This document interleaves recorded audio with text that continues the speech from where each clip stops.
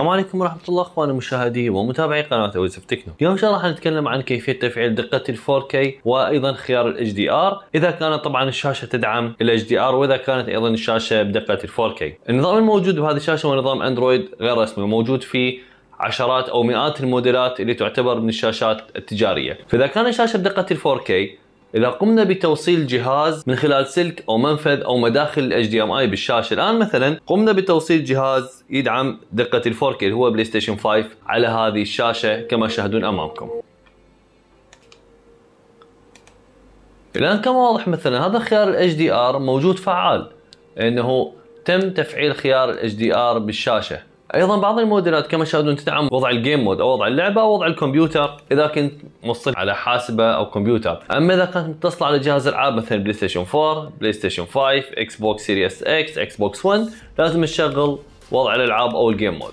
كما تشاهدون بعض الحالات إذا قمنا بتشغيل ال PlayStation الآن كما تشاهدون أمامكم إذا ندخل على إعدادات الآن على الشاشة والفيديو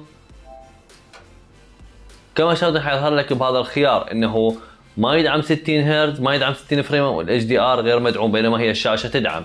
بهذه الحالة يجب تفعيل هذا الخيار كما حنوضح بالفيديو. نفتح الإعدادات من ضمن الإعدادات بالأعلى نختار المتقدم كما تشاهدون مكتوب إعداد ال HDMI نختاره. إصدار ال HDMI هو عادة حيكون على آلي اللي هو التلقائي.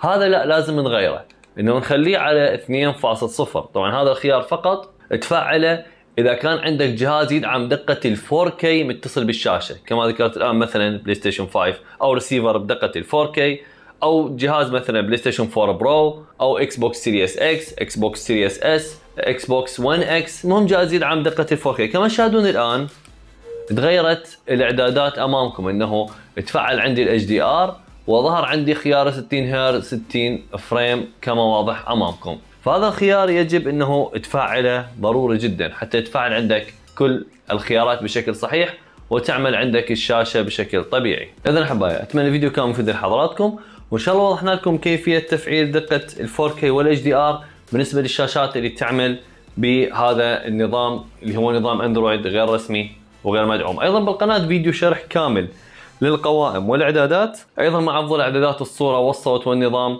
حيكون الرابط بالوصف لهذا الفيديو. اشوفكم إن شاء الله في فيديو آخر قريبا. أخوكم أبو يوسف.